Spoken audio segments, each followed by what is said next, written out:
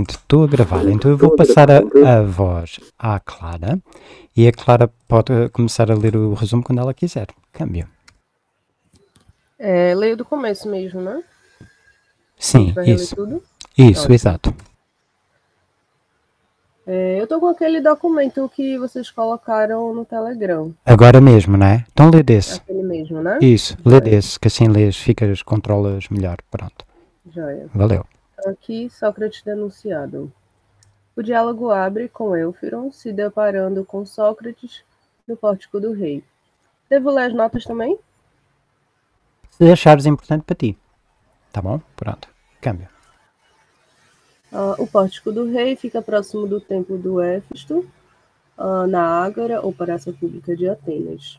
Rei aqui não designa um monarca, designa sim um dos nove magistrados principais de Atenas. Esse magistrado tem por título Arconte Rei, sendo responsável por cuidar de questões religiosas. Ah, surpreso por saber que alguém denunciou Sócrates, ele pergunta quem foi e qual foi a denúncia. Sócrates diz ser um tal de Meleto, um jovem e desconhecido. Quanto à denúncia, Meleto acusa Sócrates de corromper os da sua idade. Elfiron fica incomodado. Lhe parece que Meleto começa por prejudicar a cidade pela lareira, ao tentar compre compre comprometer Sócrates. Meleto diz que Sócrates corrompe os jovens fazendo o quê? A acusação é estranha, diz Sócrates. Meleto acusa de fazer novos deuses e não crer nos antigos. Elfiron até que entende. Sócrates é o primeiro a se dizer, sempre, acompanhado por um sinal luminoso, o seu daimon. Será inveja? Elfiron desaba, que acha a acusação uma calúnia. Empatizando com Sócrates, ele diz que o mesmo lhe acontece quando prediz o futuro. Riem-se dele, como se estivesse louco. O que tem é inveja, confessa por fim. Sócrates discorda. Observa então que os atenienses não estão nem aí para quem diz que sabe. Só há problemas quando pensam, essa pessoa faz também os outros iguais a si. Quando pensam que essa pessoa faz também os outros iguais a si. Perante isso, Eufiron se confessa pouco desejoso de testar essa observação. Ele não quer ensinar. Sócrates aí se distancia de Eufiron. Ok, Eufiron pode até não querer partilhar da sua sabedoria, temendo se expor. Sócrates, porém, fala a todos, e ninguém, a ninguém, escondendo o que quer que traga em seu seio. A denúncia de Eufiron. Sócrates fica então curioso. O que faz Eufiron ali? Ele está se defendendo ou atacando? Ele está atacando. E seu caso é bem louco. Eufiron explica que está acusando seu pai. Sócrates se assusta. Aponta ele, que não é para qualquer um fazer uma tal acusação. Só deve acusar o próprio pai quem já vai muito avançado em sabedoria. Eufiron se acha essa pessoa. Só alguém muito avançado mesmo é que pode dar esse passo. A denúncia de Eufiron. O caso. O pai de Eufiron tinha um empregado. A causa brigou de bebo, consequência, degolando um servo da casa. O pai. Objetivo. Para saber como proceder, procedimento, expande mensageiro ao oficial na cidade. Ob outro objetivo, para segurar a casa, o atira num fosso qualquer. Para punir o bicho, acaba matando o cabra de fome. A denúncia de Eufiron, terceira parte. Sabendo disso, Eufiron fica puto. Contra todos os parentes, decidiu botar seu pai na justiça. Os de casa argumentam que o pai, ou não matou, ou, se matou mesmo, fez muito bem, pois o morto era um homicida. Já Eufirão nem vacila. Para ele, não é impiedade um filho acusar o pai por homicídio. Até porque ele sabe qual a disposição divina a respeito do piedoso e do ímpio. Primeira definição. Sócrates fica perplexo. Como é, mas então? Eufirão pensa que sabe de maneira precisa como se impõe as coisas divinas uh, às piedosas e às ímpias, a ponto de nem temer que lhe aconteça o mesmo, de estar realizando um ato ímpio, acusando seu pai. Seguro de si, Eufirão confirma. Está confiante de saber das coisas divinas por duas razões. Não teria ele nenhuma serventia se não soubesse, ele em nada diferiria da maioria dos homens se não conhecesse de maneira precisa todo esse tipo de coisa. Sócrates ironiza, se desdobra em elogios. Admirável Éfiron, diz: Não é melhor se tornar meu aluno? Não. Não é melhor me tornar seu aluno? Pois, sendo Sócrates acusado de irreli irreligiosidade, nada melhor agora do que se tornar discípulo de, que, de alguém que sabe piedade. Mas até, se ainda assim insistirem que Sócrates comete impiedade, ele só tem de declarar mero aprendiz, de se declarar mero aprendiz. Havendo causa contra, ela tem é de ser movida contra esse professor. Seu crime é corromper os mais velhos, Sócrates ensinando, seu pai repreendendo e castigando. Eufirão está nem aí. Se alguém o denunciasse como professor, esse alguém, está, esse alguém pagaria caro, se ferrando no tribunal. Sócrates se finge impressionado, insistindo que deseja se tornar seu aluno. Como aluno, indaga então: Eufirão sabe com clareza que tipo de coisa é. Tipo de coisa, o religioso. Oposto, o irreligioso. O impiedoso, oposto, o ímpio. A piedade, a impiedade. Eufirão confirma, é claro que sabe. Sócrates demanda a definição. O que vem a ser o piedoso e o ímpio? Eufirão define a piedade como o que eu faço, o que eu agora faço. Mais especificamente, piedade é perseguir os que cometem injustiças, querer, quer sejam pai, mãe ou qualquer outro. Eufirão justifica que isso é assim bastante. Não, que isso é assim. Basta lembrar o que fez Zeus. Sendo ele o melhor e mais justo dos deuses, Zeus prendeu o próprio pai por devorar criminosamente seus filhos. Sócrates fica incomodado com a certeza de Eufrates.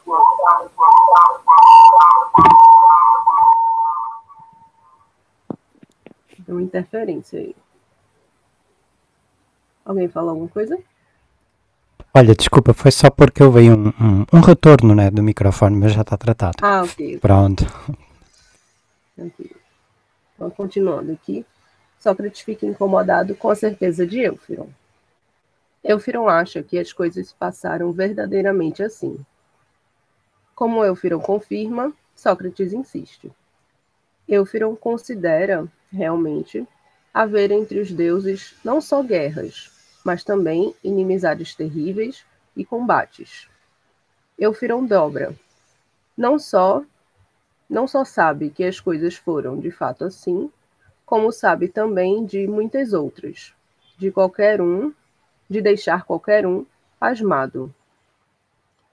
Sócrates volta a conferir se piedade é o que Eufirão está fazendo agora, processando seu pai por homicídio, Eufirão está bem seguro de, de ser essa a definição.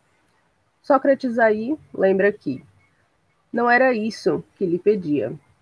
Sócrates não queria que Eufirão lhe ensinasse apenas uma ou duas quaisquer dentre as coisas piedosas. Essa definição não serve, portanto. Segunda definição. Sócrates demanda nova definição. Qual é o feitio próprio pelo qual todas as coisas piedosas são piedosas? Eufron define, então, piedade como o que é do apreço dos deuses, sendo o que não é seu apreço ímpio. Satisfeito com a resposta, Sócrates recomeça o questionamento. Como Sócrates examina a definição? Se, por um lado, é piedoso o que o que é apreciável aos deuses, por outro, é ímpio o que é detestável aos deuses.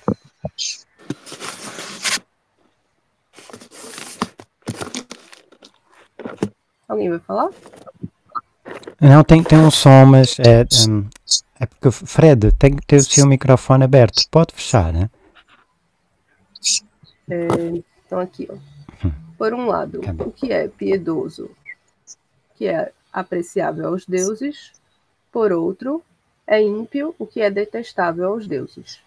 Então, eles são totalmente opostos entre si. Se os deuses entram em conflito, estão em desacordo e divergem entre si. Só como Sócrates examina a definição? Entre humanos, o desacordo é produzido por uma divergência. Quando o item em desacordo é quantificável, o conflito é rapidamente resolvido, recorrendo ao cálculo. Sócrates exemplifica: divergência, alto e baixo. Solução: recorrer à medição. Divergência, mais alto e mais leve. Solução: recorrer à pesagem. O problema é quando o desacordo trata do mal e do injusto, do belo e do feio, do bom e do mal, como tal, os deuses divergem por esses mesmos motivos. Assim, cada um dos deuses considera uma coisa justa e bela, e feia e boa e má. Se segue, portanto, que as mesmas coisas são para alguns deuses justa e para outros injusta. Dito isso, que as mesmas coisas estão, então, são é, detestadas e apreciadas pelos deuses, portanto, as mesmas coisas seriam piedosas e ímpias. Essa definição também não serve. Pronto. Paramos por aqui, não foi? Sim, é isso. Valeu, olha, Clara, foi muito legal. Valeu muito por ter estado a ler. Uh, Bem-vindo. Quem, quem, quem, eu, eu ouvi aqui gente a chegar, não sei se serão os mesmos. Chegou o Igor. Bem-vindo, Igor. Uh, olha, uh, eu deixo então um espaço aberto tu, Clara, se quiseres uh, comentar alguma coisa, tiveste contato com, com, o texto agora, o resumo uhum. ajudou? Ajudou sim, ajudou pronto. sim, bem claro. Pronto, pronto, pronto. E, uh, Marciano, tu que é, o Marciano é o nosso comentador residente, não é? Uh, vocês conhecem os méritos dele? Quem, quem não conhece, ele é mestre em, em, em, em filosofia e em Platão. Portanto, temos aqui connosco um, um, um platonista muito sério. E, Marciano, queres comentar? Amém, né? Vamos ver. ah, pois é. Então, o que a gente viu até o momento do Eutífron, né? A gente vê uma discussão de cunho religioso, a gente vê o Sócrates apresentando critérios rigorosos sobre como devemos fazer uma boa definição. A gente vê alguns elementos que parecem já estar formando algo do que virá a ser a teoria é, das formas de Platão, e a gente vê uma análise conceitual ou um exame da linguagem ordinária, para usar termos que é, são familiares a filósofos analíticos. Então, o Sócrates ele está é, investigando como o Eutifron usa o termo é, piedade e quer que isso consiga explicar de maneira apropriada uh, o, o porquê ele acha, então, que está autorizado em denunciar o próprio pai. O Sócrates, ele não se posiciona frente a essa questão, né, como de costume, ele se mantém nessa posição meio que tipo, só sei que nada sei. Por favor, Eutífron, me a ver quase que de maneira clara os passos é, do famigerado método socrático, né? Então a gente vê o elogio que a gente faz, que o Sócrates fazia ao Eutífron, a gente vê ele assumindo essa posição de ignorância, de que, é, olha, eu preciso aprender o que é a piedade para conseguir me dar bem no tribunal. Você seu discípulo, Eutífron. E a gente vê o Sócrates fazendo é, um, um exame uh, definicional, né? Ver se aquelas definições que o Eutífron estão apresentando, elas se combinam apropriadamente com a extensão e a intenção, uh, ou seja, do termo piedade, né? Então, se consegue englobar todos os casos de piedade e só aqueles casos e ser um pouco explicativo sobre isso, ter um caráter que, enfim, uh, consiga fazer com que eu entenda uh, a regra por trás do uso do termo. Bem, eu acho que é isso. Vamos para a segunda definição agora, que ela é um pouquinho mais interessante do que a primeira. Tem alguma algum reflexo na religiosidade antiga também. Por mim, podemos começar. Então, Marciano, se eu estou a entender direito o que tu estás a dizer, é que tu queres que a gente comece a ler? Sim. Pronto. Um, e tu, e só já agora para confirmar, eu não estava a numerar assim, porque esta não é a segunda, a gente já vai para a terceira definição. Um, ah, sim, é a terceira, a terceira, eu que me Ok, não, então, mas para que todo mundo possa perceber, como o Marciano diz, eu acredito no Marciano, mas se calhar fui eu que contei mal, então já ia corrigir. Pronto, Marciano, obrigado por verificar. Então, olha, nos últimos encontros fiquei eu lendo Sócrates e o, e o, e o Eutifrano estava a ser o Cédric. Um, Igor Gês, queres ser tu hoje uh, o Eutifrano?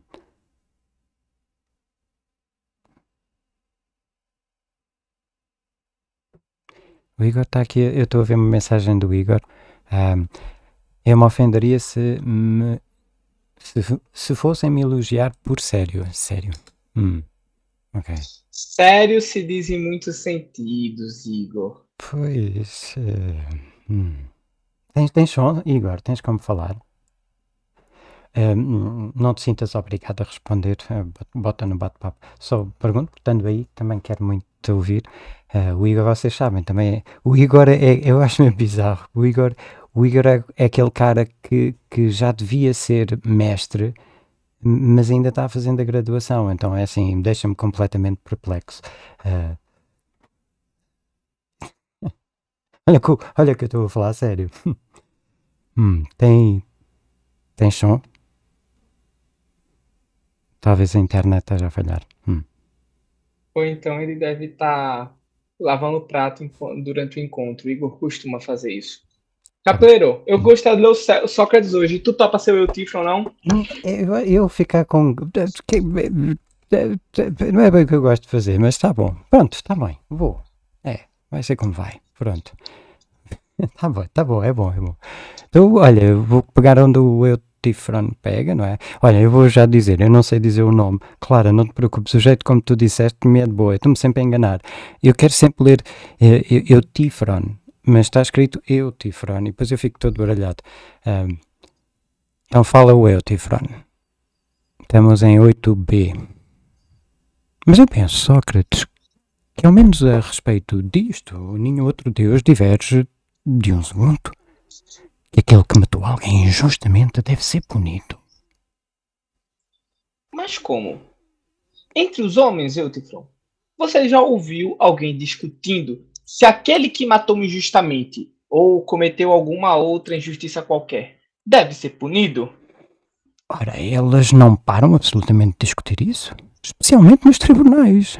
Pois, mesmo tendo agido muitíssimo mal, fazem e dizem de tudo para escapar da punição. E também reconhecem, Eutron, que agiram mal e, ainda que reconheçam, afirmam que não devem ser punidos? Isso não, absolutamente. Então não fazem e dizem de tudo pois penso que não se atrevem a dizer nem a discutir isto. Que, tendo mesmo agido mal, não devem ser punidos. Penso antes que eles negam ter agido mal, não é? Este ponto é muito bom, Marciano. Aham, é. É muito bom. Porque eu, eu agora fiquei a pensar, realmente ninguém. Eu estou a pensar com o nosso olho contemporâneo. Realmente as pessoas. Bem, não sei, se calhar o Nietzsche era capaz de argumentar contra, não sei, mas. Mas ver, mas pronto, eu concordo com o Sócrates. Pois é, Capeleiro. Eu, na verdade, acho isso que isso era muito frequente, que as pessoas não ainda há um certo desconforto de nos colocarmos numa posição de fiz algo errado. Há um certo desconforto sobre isso. É vergonhoso, a gente não gosta de admitir. Mas sei lá, atualmente é, na política, não só na política brasileira, mas eu sinto que há um, um maior contra esse tipo de questão. Ou se age mal e não se admite que se agiu mal, ou se age mal, mas não, é, mas se evita-se o máximo possível de ser imputado por esse mal. A essa negação, né? Pelo menos esse é um sentimento que eu tenho, que é, enfim, as pessoas andam passando muito mais pano para si próprias. É, há, há, esse desconforto, mas é, eu acho que, não sei, provavelmente isso não vem mudando. Mas agora, o Sócrates ele tá falando aqui no contexto de um tribunal, né? E no tribunal pois. há esse reconhecimento de que, olha, você não pode admitir que agiu mal, e se admitiu, você tem que fazer isso de uma maneira muito específica para você vai sofrer a pena, mas para sua pena ser reduzida, esse tipo de coisa. Poxa, boa. Legal. Olha, alguém quer comentar mais? Igor. Eu sabia que ele ia comentar. E eu, pronto, ele agora pousou o prato. e eu acho ainda bem, ainda bem que ele está a lavar o prato. Hum. Igor. Também. Está gaguejando aqui. É, pois é. Hum, tá eu não estou lavando o prato, não, estou tomando. Mas é, tá muito do lado de cá. E isso eu não tô conseguindo interagir. É, me agora ou melhorou ou ainda tá gaguejando aí? Aqui tá gaguejando. Aqui gagueja. Tá, eu vou bem rápido. Eu achei interessante é, Marciano colocar a gente é, pode admitir derrota, né? O, é como se essa tal vitória ou derrota fosse justamente a admissão e não qualquer outra coisa. É, numa disputa de discussão, possível, aquele que vence é o que clama, né? E é é, confirmado como tal.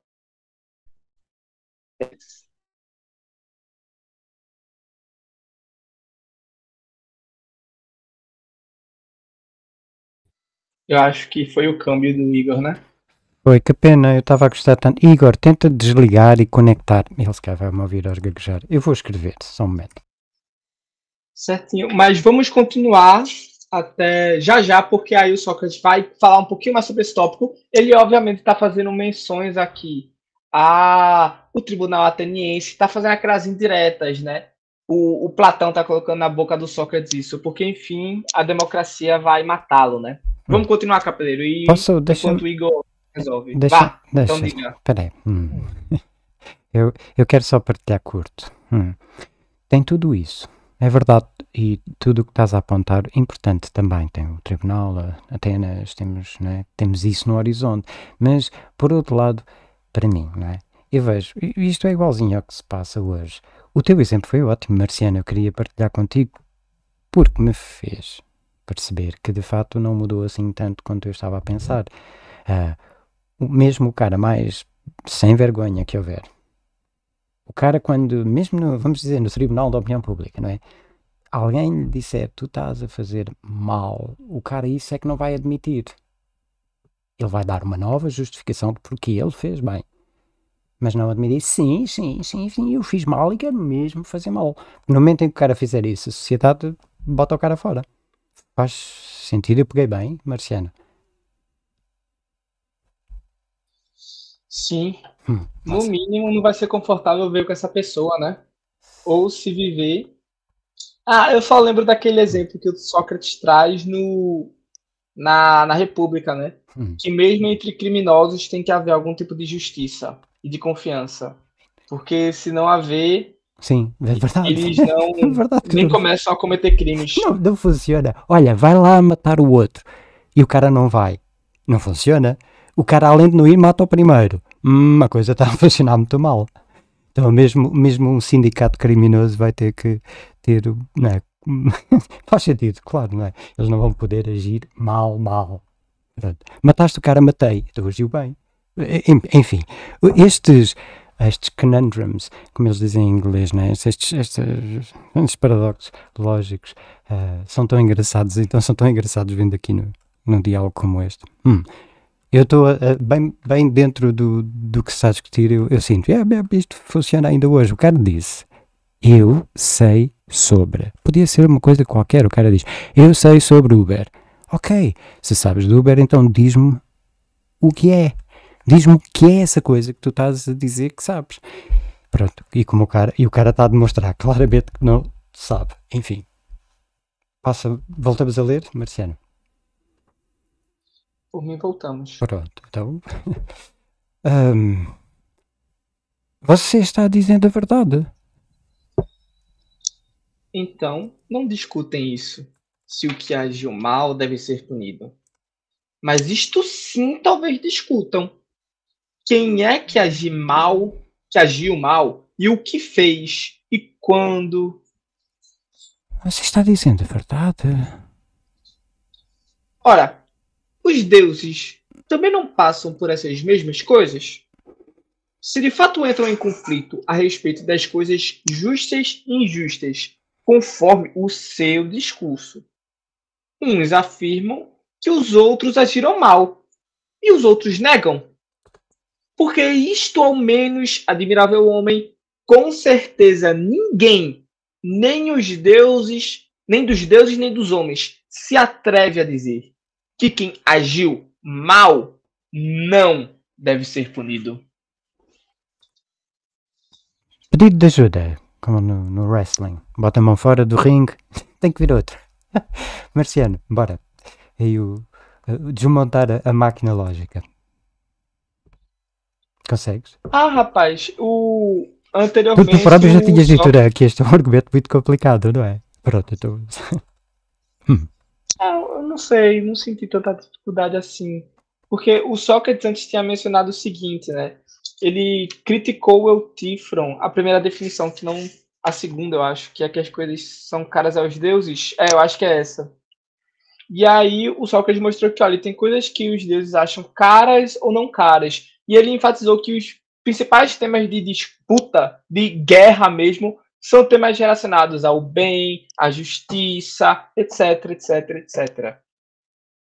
Então, o Sócrates ele está retomando um pouco disso agora e está dizendo que, olha, os deuses eles entram em conflito sobre essas questões de justiça e injustiça. Eles entram em discussões sobre agir mal ou não agiram mal. Mas apesar disso, nenhum deles discute o seguinte, que quem fez mal tem que ser punido. O ponto é só esse. Então eles concordam que uh, quem fez mal tem de ser punido. Uhum. Ok. Massa. E eu, todo mundo, os restantes, Áquila, Patrícia, Fred, algo de vocês, Clara, do que já tiveste a falar, algo de vocês tem alguma questão? Às vezes acho que só quer dizer pouco propositivo nessa história de falar do bem. O que é que tu queres dizer ao Igor? Hum. Tens como falar, Igor?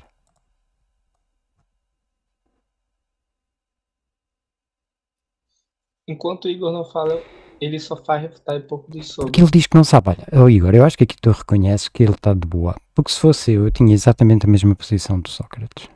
Independentemente de qualquer religião, alguém dizer assim, eu sei exatamente como é sobre Deus. Eu, ok, eu não sei. Eu estou de boa, porque eu realmente não sei. E o Sócrates está nessa posição, e é isso que lhe dá, dá-lhe assim esta liberdade de ver não é o como o argumento do outro não funciona. Lá, tu estás a dizer que sabes e depois não sabes. Hum. Não, eu também não acho que estejas a xingar, mas uh, acho que este, o diálogo se mantém muito atual. Enfim, mas, mas pronto, lá está, essa é a beleza de Platão, não é? Não é à toa que o resto é tudo nota de rodapé. Enfim. Oh, oh Marciano, eu posso dizer uma? Uh, Diga. É curta.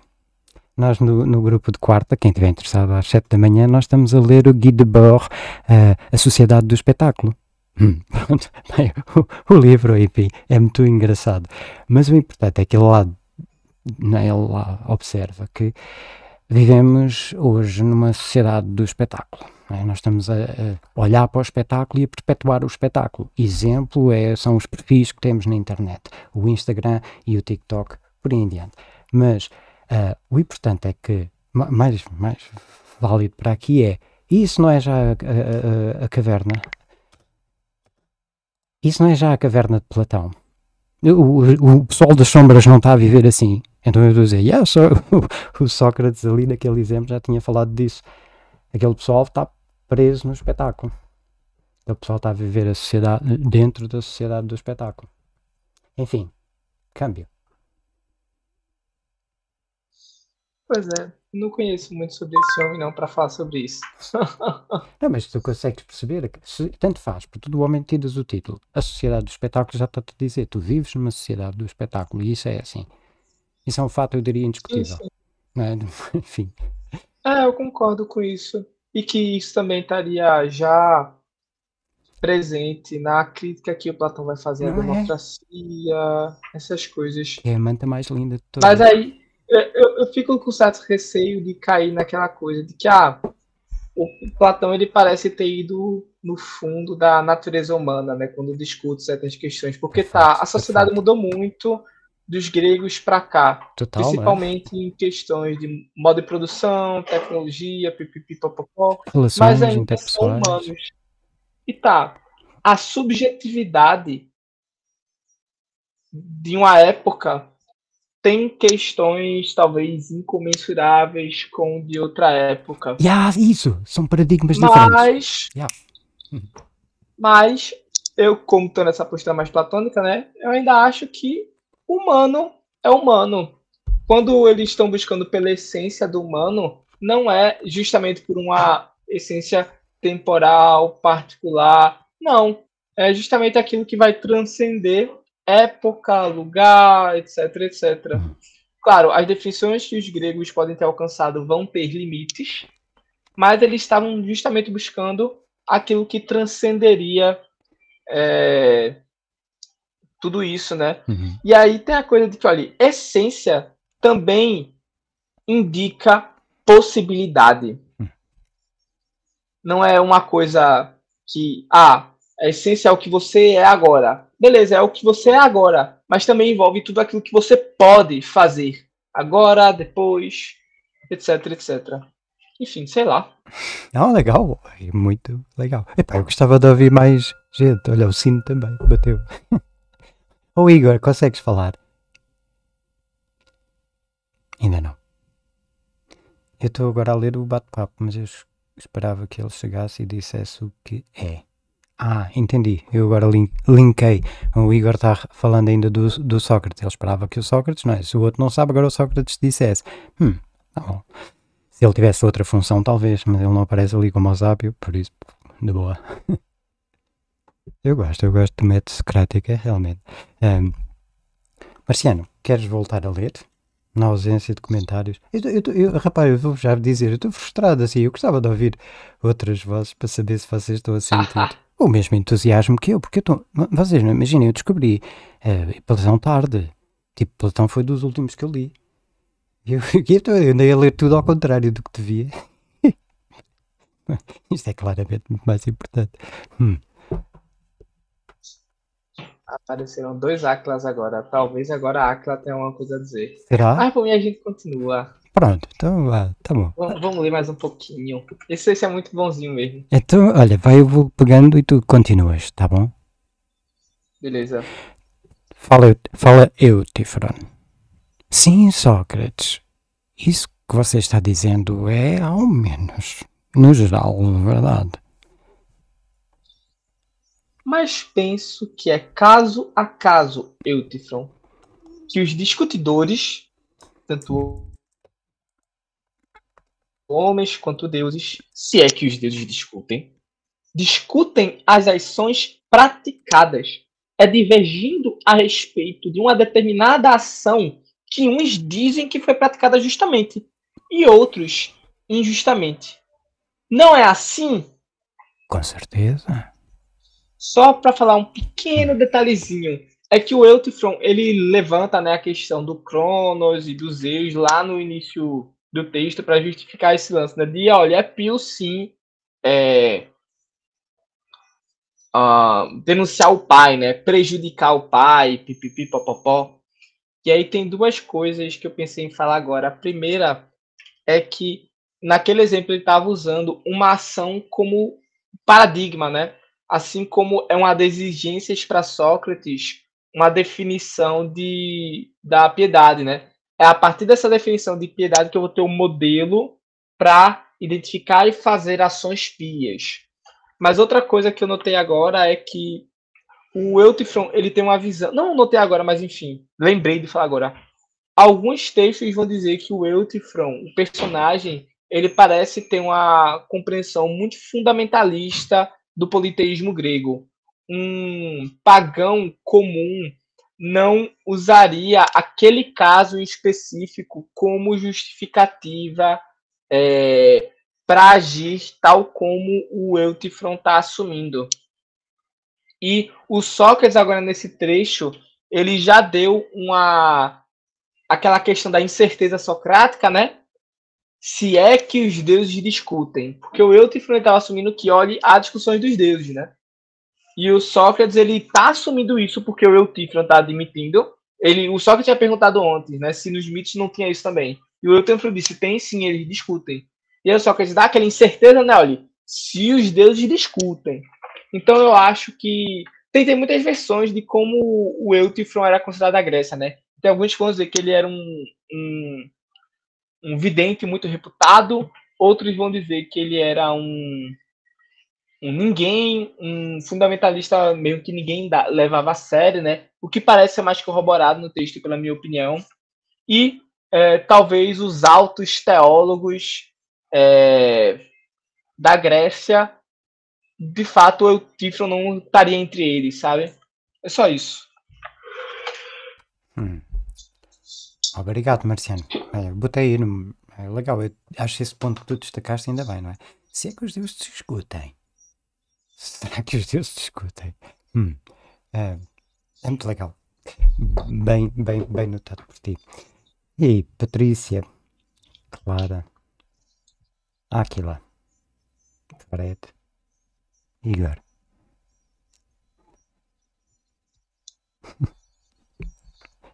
Bem, não haver comentários. Uh, voltamos ao texto. Hum, então, eu vou, eu vou voltar aqui com o meu, meu peremptório, ok? Com certeza. Ande então, caro Eutifon. Ensine também para que eu me torne mais sábio. Olha aí, ó, a, o elogio socrático.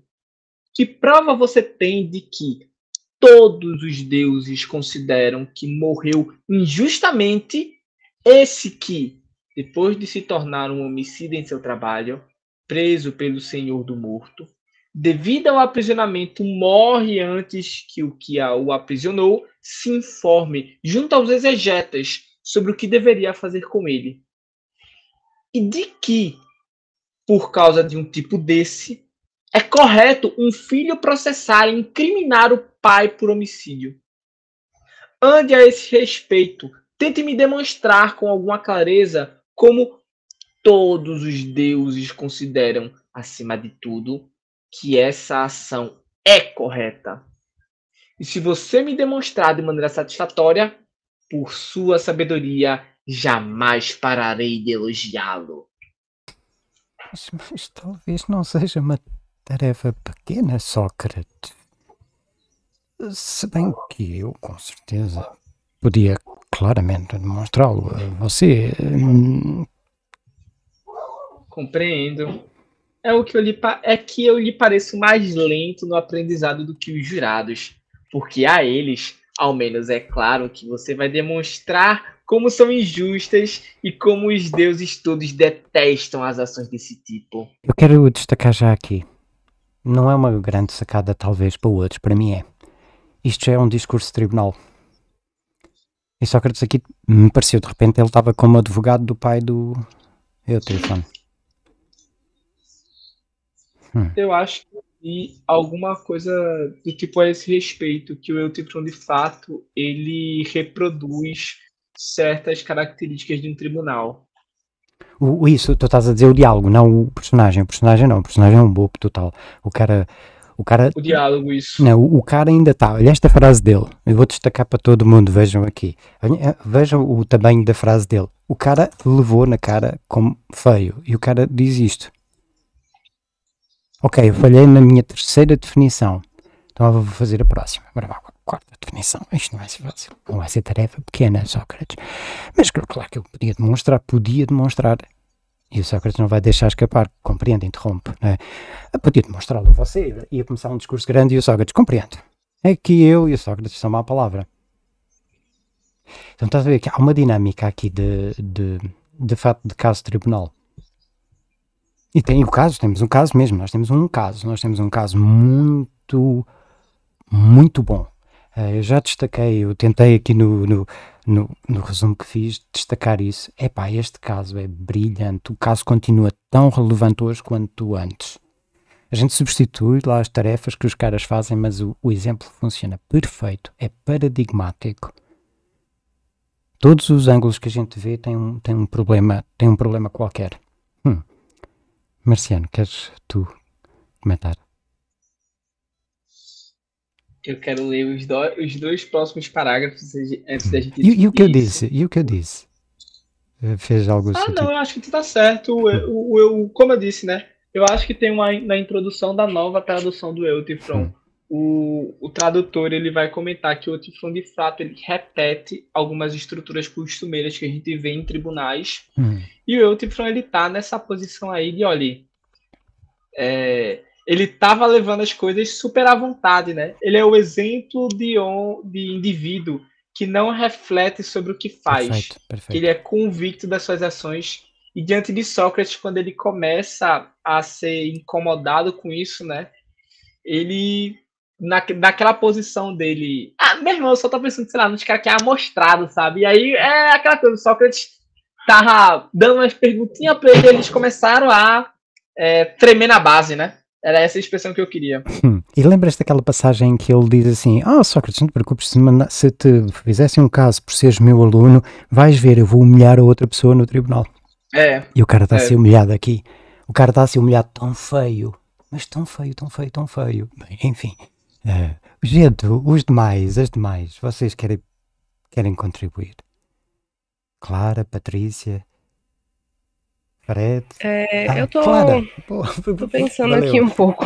Valeu, Acho que eu tô bom. tentando entender. Tô tentando entender ainda hum. as partes anteriores, sabe? Sim. Mas. Tu tens o caso é, na o... cabeça? Tens o caso na cabeça? Oi? Tens o caso na cabeça? O caso. Sim, eu tô pensando um pouco sobre. Talvez eles devessem, devessem estar discutindo o que é injustiça e não o que é piedade. Me parece meio estranho eles estar discutirem o que é piedade, sabe? Massa, essa foi muito boa a pergunta. Marciana, boa. Oh, valeu, Clara, muito, muito bom. É, é perfeito, Clara. É porque piedade, de fato, tem uma relação com justiça, na verdade. Inclusive, vai ser a última definição que o texto vai trazer de piedade. O Sócrates ele vai ajudar Eutífano dizendo que, olha, piedade parece ser um caso particular de justiça. Então, piedade seria justiça no que se refere ao cuidado dos deuses. Então, ambas têm uma relação. Inclusive, é, já adiantando algumas coisas do, do que a gente pode discutir no final do diálogo, né? A piedade ela aparece em textos tradicionais gregos entre as justiças cardeais. É, se eu não me engano, é justiça, temperança, coragem, mais uma que eu esqueci agora, e piedade. E aí, se a gente vai na República, a gente vai ver lá que as justiças cardeais são justiça, temperança, coragem e sabedoria. Então, Platão ele parece deixar um pouco a piedade de lado muito provavelmente porque ele acha que, olha, investigando apropriadamente o que é a justiça, eu vou entender o que é a piedade. Então, ela não precisa de um foco tão, tão grande assim. Mas então, Clara, eles só estão discutindo a piedade porque o Eutifron, que ele é um adivinho, né? Ele justificou a sua ação porque ele sabe o que é pio. E aí, enfim, é, o Sócrates está aproveitando isso, né? Você não disse que é sábio acerca dessas coisas, rapaz? Então, bora lá. E claro, para falar um pouquinho mais sobre essas questões é, religiosas da, Gre Gre da Grécia, né, por onde o Tifron pode estar justificado, é, a gente vê um contexto em que religiosidade, pelo menos na legislação né, grega, há uma espécie de. É, tá prescrito na lei que eu posso acusar pessoas uh, quanto a temas religiosos, né? Mas agora, como era a religiosidade comum na Grécia? Eu posso estar enganado, claro. Talvez eu devesse pegar algum texto do Guthrie para reler sobre isso. Mas é, os gregos assumiam que qualquer tipo de assassinato é, gerava um certo de o que eles chamam de miasma, se eu não me engano. Não, não sei se tá, tem uma tradução para isso. Mas é como se trouxesse um agouro é, para os seres humanos, para toda a família daquele indivíduo. Então, se um fulaninho matou alguém justamente, esse agouro passa para toda a família dele. Então, vai ter consequências. Como a gente resolve isso? Fazendo um ritual religioso fazendo ritual religioso. Só que o Eutifron, é, isso para uma tradução, tradição mais antiga.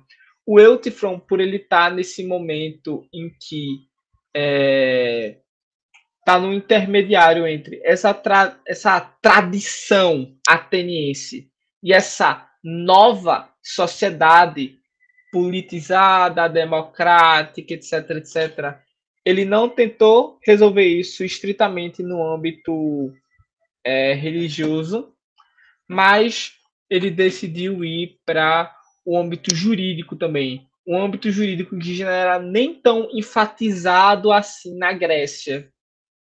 Então, é, tem, tem umas coisas jurídicas aí é, interessantes. Eu vi que a Clara falou com relação à piedade, né? Sim, tem uma relação com religiosidade, embora eu vi que o Igor falou, né? É importante sempre fazer a diferença das consequências de cada uma das palavras sem transmitir a influência cristã no português, o que é muito difícil. Pensar piedade fora de uma concepção abraâmica, eu diria que piedade necessariamente tem uma relação com religiosidade. O negócio é que religiosidade, ele não terminou. É, mas é o ponto, é que piedade não é você sentir compaixão pelos outros.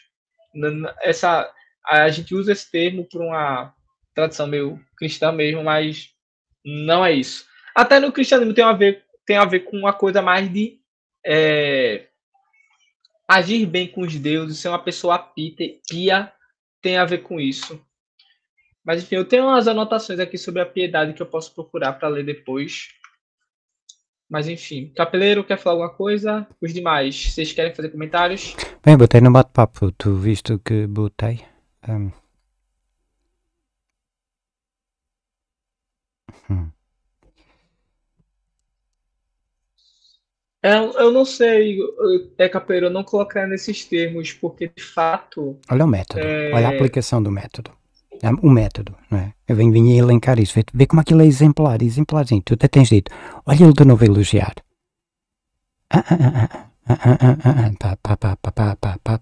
Pum, pum, e o cara vai progredindo, mostrando, que o cara vai sempre mostrando, é que o cara não sabe do que está a falar.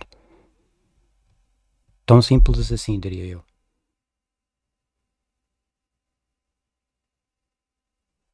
O negócio aqui não é proposicional.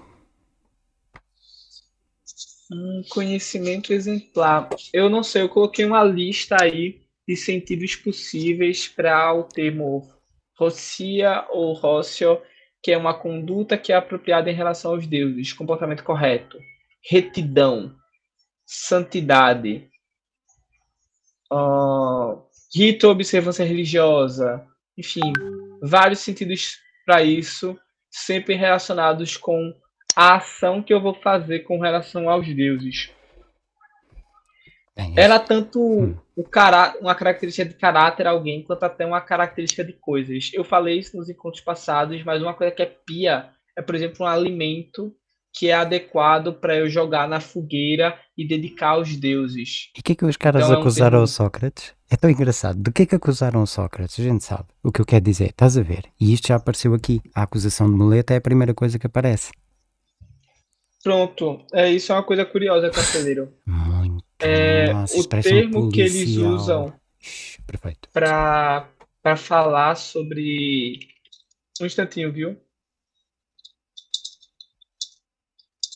Hum. O termo que eles usam para caracterizar esse âmbito mais jurídico não é piedade, é acebeia.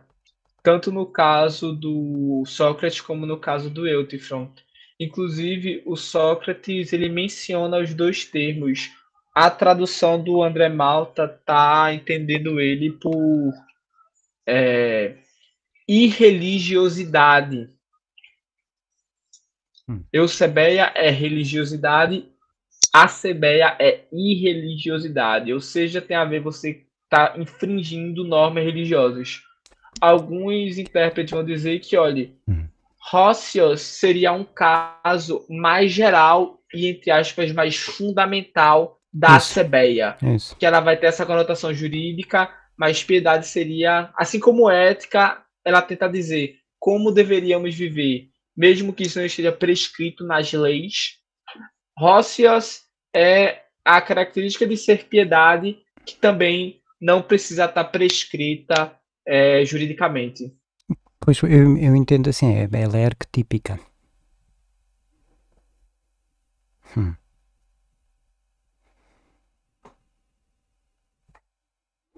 Fez sentido assim. Hum. É, é, é porque porque, porque, porque me parece que a gente, tá, a, gente não está a gente não está a discutir coisas muito diferentes. É que eu sinto mesmo. Eu sinto assim: se um cara qualquer faz uma afirmação sobre X, sendo X a coisa mais certa que a gente tem, o conhecimento dos deuses é o conhecimento que eles têm é certo. Isso ninguém pode duvidar, não é? Faz sentido. Uhum. É isso que distingue, é por isso é que eles são deuses. E, e, e o cara está tá a dizer que sabe disso, de um, de um conhecimento com esse grau, estás a ver? com um grau de precisão, e o cara se espalha ao comprido. Continua a ser um caso exemplar.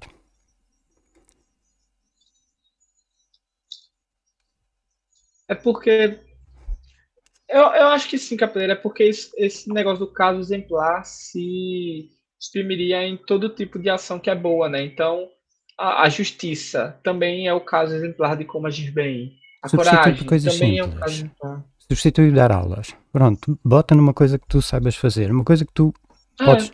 Bota numa coisa que tu saibas fazer, mesmo que não saibas plenamente, mas sabes mais do que quem não sabe. E agora imagina um cara que não tem ideia nenhuma do que é ensinar, estar a falar como se, se afirmando que sabe mais do que tu. Uhum. Contra, contra, indo contra a, tua própria intuição. Tu. Isto, isto, isto não faz sentido nenhum. Pronto, algo assim. Seria assim esse tipo de. Não, Tu não podes falar sobre isso, não. Não sabes? É, essa é a exigência de Sócrates, né? Sim, isso não é. E os caras vão condenar Sócrates do Sócrates fazer essa afirmação, quando o Sócrates nunca disse isso. O Daimon, sendo o que for, ele é, é isso, é um Daimon. Está lá. E só o impedia de. Ele nunca diz para ele fazer, nunca diz mata a tua mãe. O contrário. Não vais falar assim, Pedro. Embora, hum. só para constar, eu acho que o Sócrates ele também não está sendo muito afirmativo, né, no quesito de, olha, não vá fazer isso. Também. A questão é apenas o seguinte: o Sócrates ele está nessa situação de eu não sei o que você deveria fazer. Por quê? Porque eu não conheço esse tema, mas você desconhece. Então vamos avaliar. Você reconhece que a, você o qual vai ser o resultado final do diálogo, né? Olha, eu, Tifrão. Você não conseguiu conseguir me dizer o que é a piedade. Você vai é, fazer algo que foge completamente ao senso comum, mas você não consegue demonstrar que você tem esse conhecimento excepcional que você diz ter. Você tem essa confiança nessa crença, mas não consegue justificar ela. E você quer se garantir mesmo só com base nessa convicção subjetiva. Esse é o ponto do Sócrates. Até porque o Sócrates ele faz coisas que Atenas, no geral, não aprovava. Como, por exemplo, ficar saindo por aí refutando gente. Sócrates morreu por causa disso. Mas agora, o Sócrates justifica por que ele faz isso. O Eutífero não é capaz.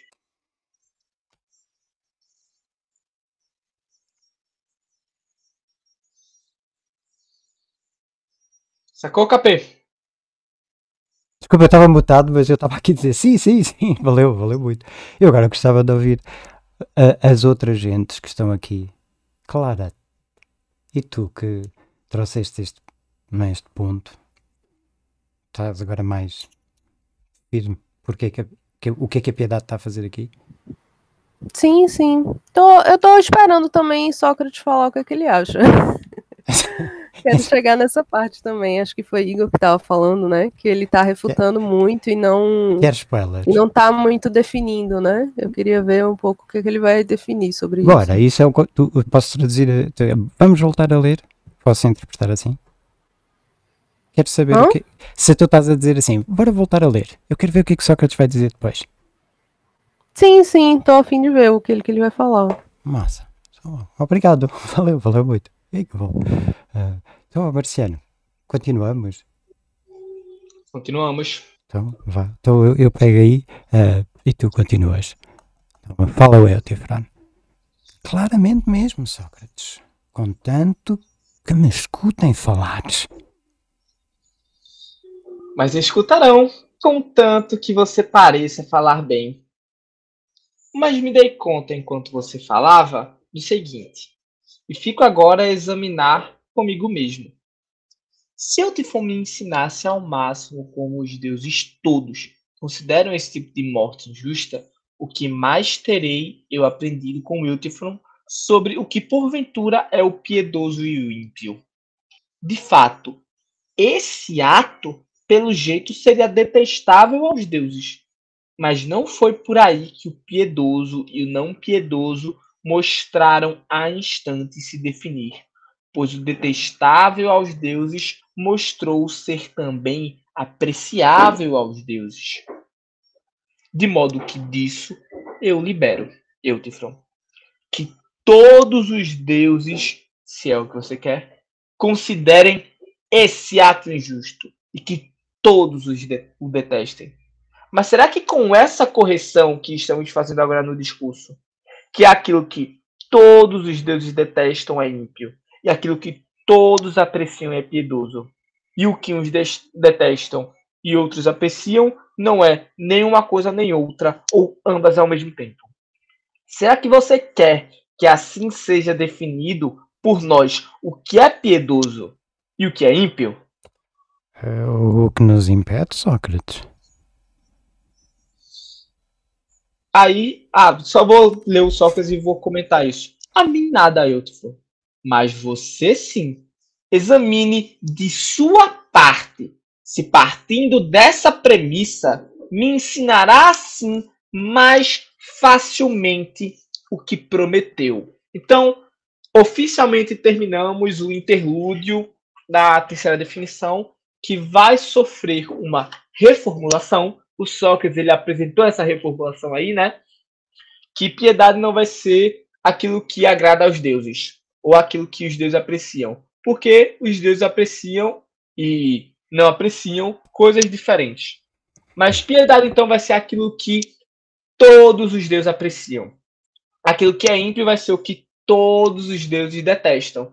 E vai ter uma classe de coisas que não são nem uma coisa nem outra por natureza. Que elas não são essencialmente pias ou não pias. Ou talvez sejam as duas ao mesmo tempo, né? Só que lançou essa possibilidade aí. Mas agora, outra coisa bem sutil que não é tão sutil assim, que é a primeira fase do Sócrates, né? Que é, os juízes escutarão Eutifron se ele falar bem. Uma nova cutucada sobre como a jurisdição, a, a Assembleia, enfim, esses é, ambientes políticos da Atenas funcionavam, né? Pouco foco no entendimento autêntico e na verdade, mas muito mais sobre como uh, esses indivíduos vão falar. Diga, capeleiro. Hum. Olha, como o teu comentário foi tão legal, eh, vocês que ouviram o, o, o Marciano falar, querem dialogar com ele? Eu chamo, também penso, pode pode parecer rude. Não quero pedir ninguém, não estou a exigir a ninguém para, para falar. Mas se vocês tiverem alguma coisa para dizer, é muito bom para, para poder contribuir. Hum. Bem, Marciano, eu, eu, se não, ninguém pedir para falar, eu então falo pegando no que tu falaste. Um, no teu comentário, tu, tu destacaste, eh, passaste pela forma que isto tem, não é? O drama em si tem uma forma. E agora nós, tu disseste, agora termina o interlúdio e vai começar a terceira definição. Essa parte peguei bem. Sim, na verdade teve a terceira definição, aí teve esse pequeno interlúdio, né, que o Sócrates refutou o Eutifron e ele começou a fazer comentários sobre, uh, sobre a injustiça, sobre a democracia, sobre Uh, enfim, é, algo que fugia um pouco esse âmbito definicional, né? E agora ele retoma ele dando uma contribuição para Eutifron, né? Cumprindo aquele papel de parteiro, vou colocar nesses termos, para ressaltar como Eutifron ele parece representar bem, entre muitas aspas, o método socrático, né? Tá tão legal, ficou tão melhor a definição. Eu, eu sei que não, não lemos ainda, mas olha só, o Sócrates faz essa invetiva. E olha lá aí a terceira uh, definição, mas agora mais, ela agora já tem uma terceira porque ela tem esse todos. É. é. ela tem, todos, ela respeita o caráter de universalizar, universalidade que o, Isso. que o Sócrates quer para a definição, né? Massa, que massa. Valeu. Mas uma outra, uma outra coisa que eu ia falar, Capeleiro, que eu esqueci, mas que eu acho sempre muito importante de ressaltar, é que a última frase que a gente leu foi Sócrates dizendo: olha, é, ele propôs a definição. O Tifron diz que nada nos impede, não nos, nada nos impede de aceitar essa definição, né? Mas Sócrates ressalta: a mim, nada, Eutifron. Mas você, ou Nossa. seja, o Sócrates ele quer a opinião do Eutifron. Tem esse caráter de, olha, você tem que concordar, sua alma tem que aceitar essa ideia. Porque se ela não aceita, não vale a pena. Hum. Só isso. Bem, valeu, valeu, muito legal examinada. Eu de novo, é tão legal estes hedgings de Platão. Eu, eu vou partilhar uma, uma vou partilhar assim, assim uma, uma frustração minha. Eu gostar tanto, tanto, tanto, tanto, tanto tanto da escrita e não tem ninguém para com, com quem falar dela. Porque eu, eu, eu acho brilhante Platão como escritor. É, é absolutamente brilhante. Eu não consigo imaginar melhor plano do que este. Não consigo. Todas as dimensões que eu procuro e eu me ponho a olhar, o texto é perfeito e faz aquilo que tem de fazer. Ponto. Uh, em mim, nada. Eu tive alguém dizer, Platão, Platão diz. Essa é a frase mais estúpida que alguém pode dizer. Platão não disse nada. Não acontece. Lamento. Isso é a sua cabeça a falar. O Sócrates vai dizer em mim nada. Eu, Tifrone, o texto está todo repleto destes cuidados. Vamos imaginar uma cidade em Logos e o pessoal já, ah, porque a cidade, ai, não perceberam nada, estava lá escrito. O cuidado que está aqui, para que as pessoas não tirem de certezas, Con conteudistas que tirem sim exemplos metodológicos. Pronto, Marciano. Eu acho, eu acho-me bem académico. Hum.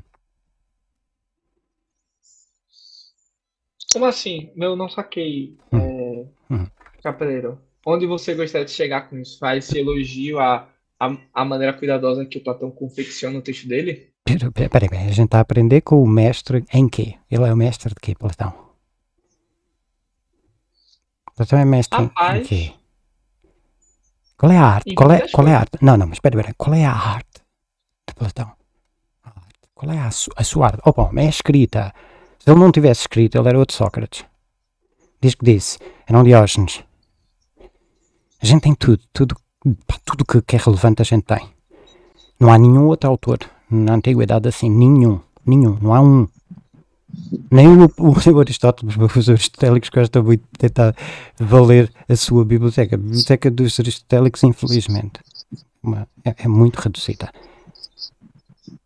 Uh, não são as melhores obras, mas nós aqui temos as melhores obras. E esta é a primeira de, um, de uma tetralogia que pá, é, essa deve ser mesmo dos melhores, dos melhores, né? Uh, roteiros de toda a literatura. Então eu isto é exemplar, isto é arquetípico. Tu tens um caso exemplar. Vê o caso, tu mudas, tu mudas os, os itens da forma, mas a forma continua a funcionar. Traduzido para os dias de hoje, um caso como aquele, é? como este que se está aqui a tratar, o caso continua a ser difícil. E temos por cima disso aquele cara que diz saber a resposta. Ele sabe como tem, como, tem de ser decidido. Isso continua para mim relevante hoje. Espera aí, fez, fez sentido. Hum. É, mas eu ainda estou a na expectativa Como que... é que se escreve filosofia? A minha pergunta não é brincadeira. Se para me dar uma resposta à chat GPT, eu não quero. Olha, ela escreve-se com F-I-L. Eu recebi essa resposta no chat GPT. Como se escreve? E ela soletra-me. E eu, massa, ela não está aqui. A filosofia tem esta, não sei, olha, tem esse encanto, pelo menos. Estamos aqui nós, 2400 anos depois, e eu estou eu estou completamente assim, assim, admirado e nu pelo que estou a ver. Este diálogo nunca pegou para mim, nunca. Agora de repente foi como se fosse magia. Puf! Ah! Que tesouro que isto é! é. Eu não sei como responder essa questão, Capoeira. Não é uma Embora questão, não é uma questão, é afirmação. Seja, não, é uma afirmação. É, não, é porque, não, a questão no que tu disse, como se escreve filosofia. Ah, ok, massa, valeu. Hum. É, é uma questão. Eu sou simpático à ideia de que a filosofia que você decide por fazer vai implicar em questão de como você vai escrevê-la. Isso é legal. Sabe? Gostei dessa resposta. Gostei. Foi muito bem sacado. Então, Plat... Pois é, Platão vê que pensamento é o diálogo da alma consigo mesmo. E os textos dele, no geral, na minha opinião, elas avançam sim teses. Mas quem, para pensar, é preciso, se a alma é um diálogo consigo mesmo, né? Alguém está afirmando e outra pessoa negando ou concordando. Hum. Precisa estar tá acompanhando esses passos afirmativos, né?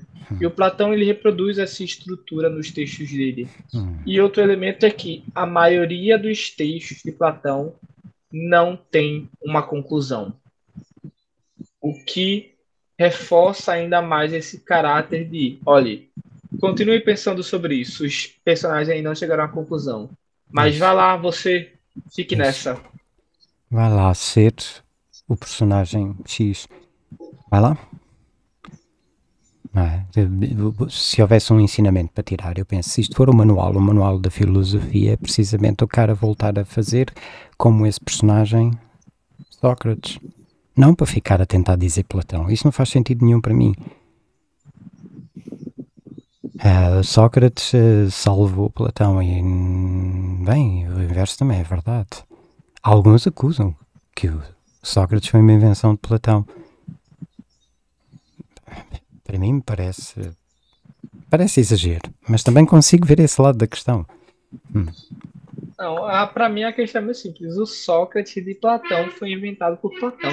Sócrates de Platão. Aí eu não, eu não. É, que, sim, de fato. A gente está a ler o texto de Platão. Sim, sim, tens razão.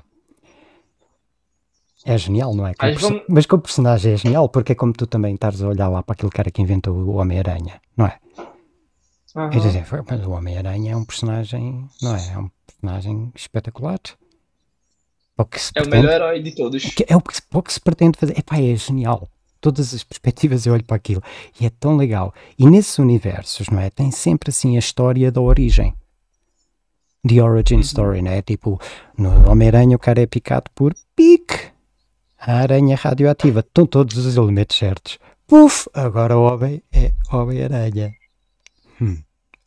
Não sei porque é que ele não ficou com uma mosca lá do, do Cronenberg, mas, mas, mas isso não importa. Mas uh, ele tem esses poderes. Mas a gente também vê essa história de origem em Platão. O Sócrates tem uma história de origem. A gente vê na Apologia. A gente vê The Origin Story, exatamente. Ele tem aquele superpoder. Eu, não, não, eu, pelo menos, não tenho. Não declarado. Eu não, não, não, não tenho assim. Eu não vou falar para vocês a dizer eu tenho um Diamond. Mas é mas se calhar até tenho, não é? Se calhar até tenho. Nós estando em diálogo connosco, eu pelo menos vou ouvindo aqui uma voz na minha cabeça. Hum.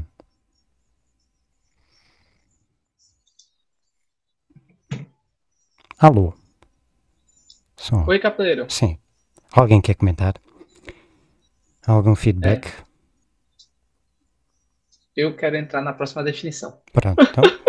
Ah, vota, outro vota por favor. Então, então eu leio aqui de novo esta aqui, que já destaquei do Eutifron, e a gente vai, vai continuar. Então, fala o, o Eutifron. Mas eu, pessoalmente, diria que o piedoso é isso. Aquilo que todos os deuses apreciam. E que o contrário. Aquilo que todos os deuses detestam. É ímpio. Ora, não devemos examinar isso agora, Elton, para ver se está belamente dito? Ou devemos deixar para lá e aceitá-lo assim mesmo, quer parta de nós próprios, quer dos outros, concordando que algo é assim mesmo, só porque alguém afirma que é? Ou se deve examinar o que quem fala está falando? Outra. Só questão vai meter aí, né? Vamos examinar, meu amigo, ou você não se garante? Só para constar, o Igor fez um comentário aí no chat, né? Que talvez seja interessante para Capeleiro ler. Então, é, o Igor. O Igor escreveu isto, fala do Igor. Acho que a escrita é uma projeção do pensamento. Como toda projeção, trata-se de um modelo reduzido do objeto em questão, transcrito em certas dimensões. O círculo é projeção da esfera. A rigor, seria impossível descrever filosofia. Ela é feita fora do papel. E a escrita serviria a provocá-la, não reproduzi-la. Nisso, Platão acerta. Mas a filosofia que é feita entre nós é diferente de qualquer outro grupo que é instigada pelo mesmo modelo. Reconstruções de projeções são sempre afetadas pelo operador. O círculo também pode ser a projeção do cone ou do cilindro. Hum. Então, Marciano, tens aí um, bom pontapé de saída. Já não saímos daqui. Valeu, Igor. Muito legal. Aqui ótimo comentário. Pois. Gostei muito da primeira parte. A primeira parte eu uh, conectei-me muito. Eu já comento, Igor, até dizer ali uh, uh, esta parte reproduzi-la. Isto é totalmente material para se citar. Poxa, isto é. Isto é tese. Eu vou botar aí do, do, do bate-papo para te devolver. Olha, está aí, texto para guardar.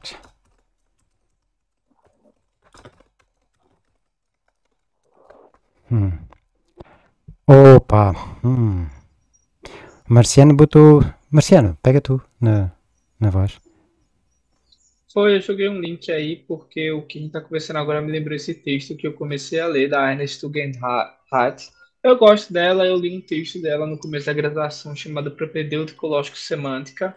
É um texto bem divertido sobre relações de lógica e metafísica.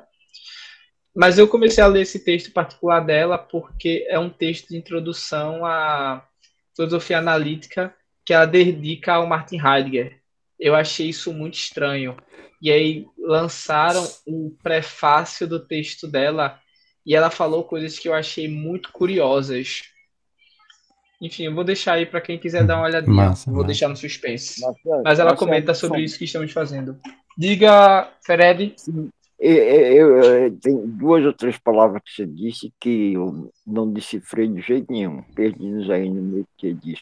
Ela, o que? Qual foi o verbo antes de Heidegger? Ela dedica. Dedica. Ah, é. o, que, o que é uma atitude lisonjeira, né? elogiosa, assim, de aprovação. Pois é. E o Heidegger, ele tinha aquela relação complicada com filosofia analítica, né? É. Fora é, outras complicações.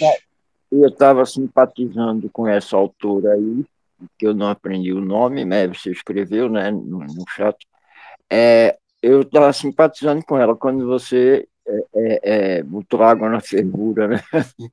derrubou a minha simpatia, né?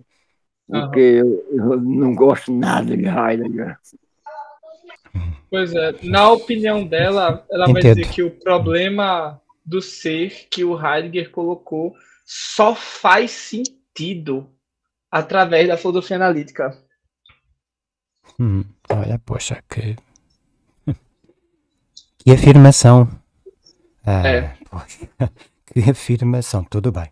Obrigado, valeu muito por partilhá-la. Ah, eu, olha, eu gostava de comentar, mas só assim para, para, para desabafar. Valeu, valeu, Marciana, sugestão, muito legal. Uh, sim, uh, para mim deu para ver que, de fato, uh, a discussão pode rapidamente complicar. Muito, muito, muito, muito, muito, muito. Só o exemplo de botar o Heidegger na conversa é, hum, é bom, é bom. É, é bom e agora, é bom agora eu não me hum. lembro nem o que é que o que é que Marciano estava dizendo neste momento, e aí a gente perde toda a concatenação da conversa. Da conversa. Bem, podemos voltar ao, é, ao é, texto. Eu não me lembro o momento exatamente o que é que Marciano estava dizendo quando o JIT se derrubou, caiu. Hum. Aí, entende? Aí você fica totalmente desorientado. Assim, né? Toda hora vem uma chapuletada, né? uma, uma porretada em cima dos usuários que desmontam toda a conversação que foi engenhosamente montada. Hum. É uma sacanagem, é, uma, é, um modelo de irresponsabilidade perante os usuários. Hum.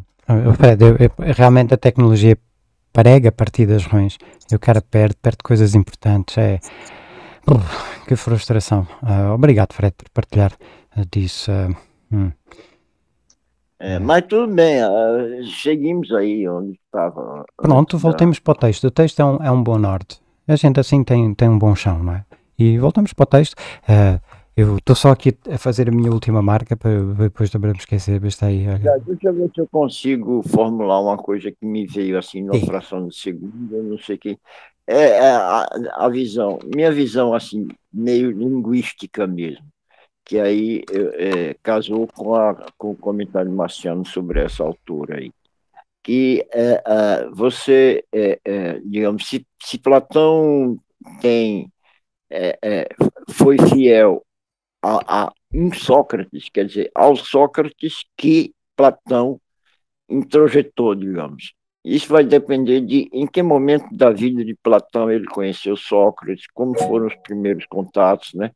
Quer dizer, ele pode ser plenamente honesto em reproduzir Sócrates, mas, de certa forma, não deixa de ser um personagem da vida de, de Platão.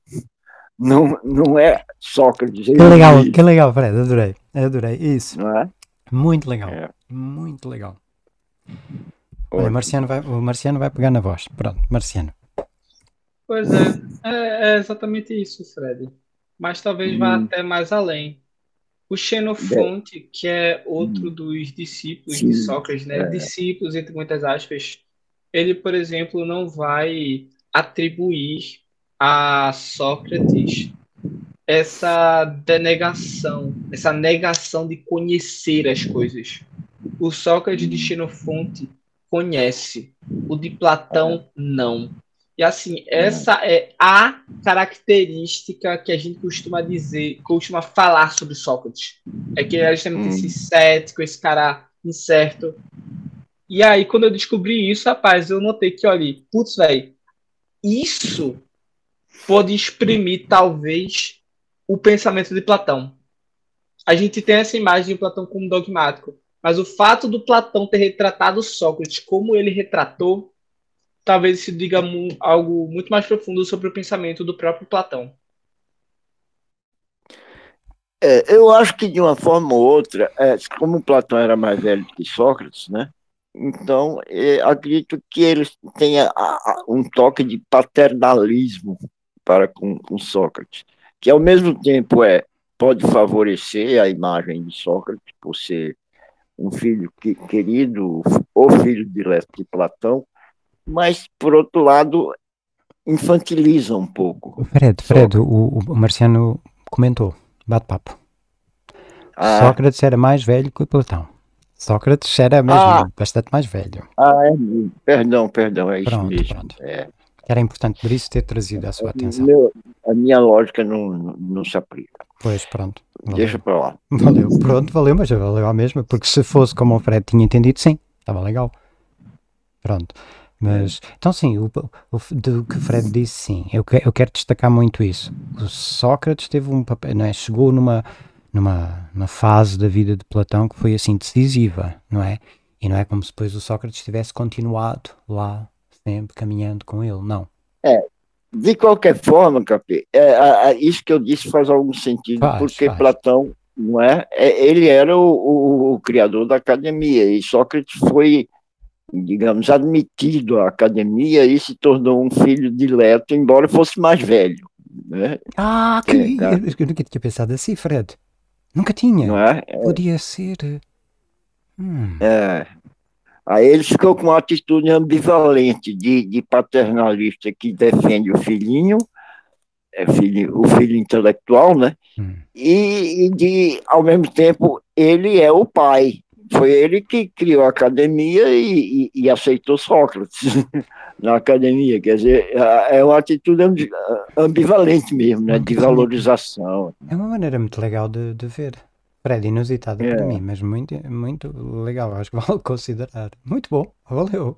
E vocês, querem.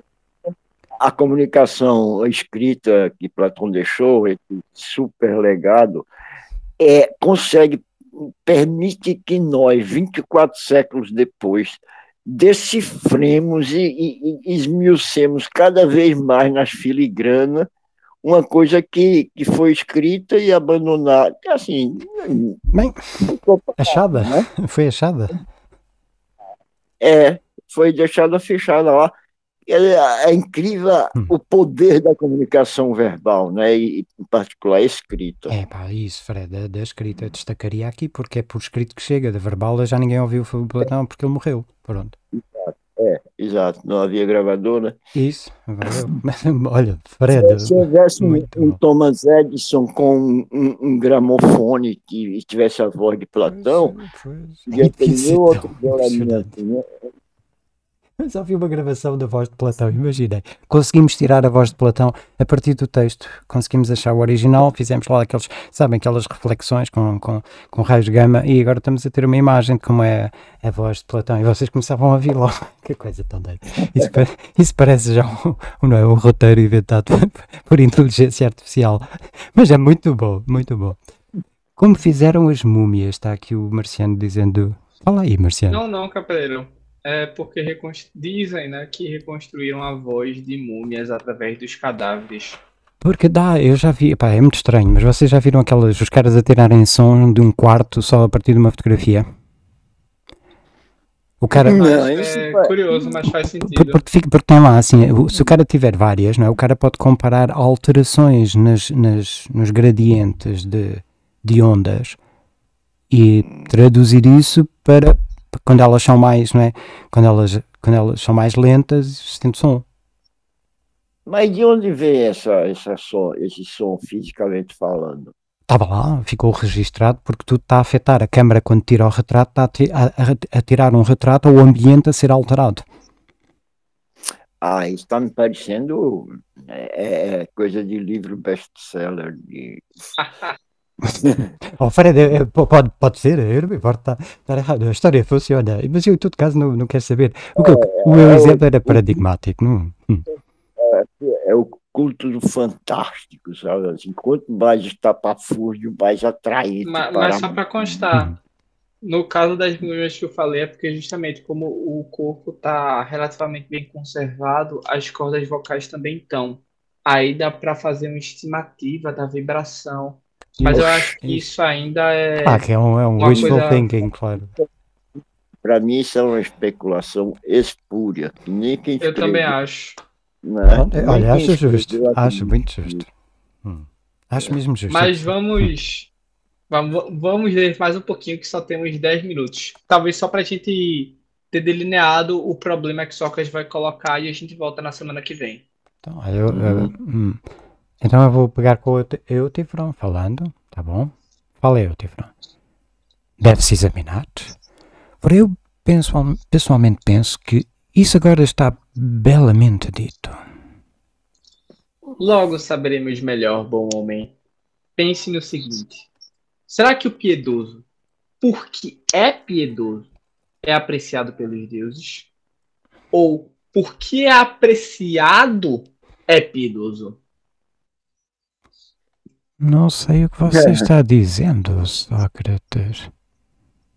Vou tentar formular de uma maneira mais clara. Falamos em ser levado e levar, ser conduzido e conduzir, ser visto e ver. E todas as coisas desse tipo. Você compreende que são diferentes entre si e no que são diferentes? Eu pessoalmente penso compreender. Ora, também há um ser apreciado e, diferentemente dele, o apreciar. Pois como não? Me diga então, o levado é levado porque alguém leva ou por outro motivo qualquer? Não, por esse. E o conduzido porque alguém conduz? E o visto porque alguém vê? Com certeza. Então não é porque algo é visto que alguém vê, mas o contrário. É porque alguém vê que algo é visto. Poxa, Nem parece, é- Olha, olha, olha aí, botei, desculpa, olha aí. Parece física quântica. Então ele não diz, ele não está aí a dizer. Como é que diz aquilo é propositivo? Câmbio, desculpa. Desculpa, Marcelo. Durante uma investigação, Desculpa. a gente pode fazer certos esclarecimentos, né? Então, esse processo negativo de Sócrates nunca é completamente negativo, na minha opinião. A investigação vai esclarecendo algumas coisas. Nesse caso, é uma relação conceitual, né? Entre um estado e uma ação. Há ações que resultam estados, mas obviamente esses estados vão ser diferentes das ações.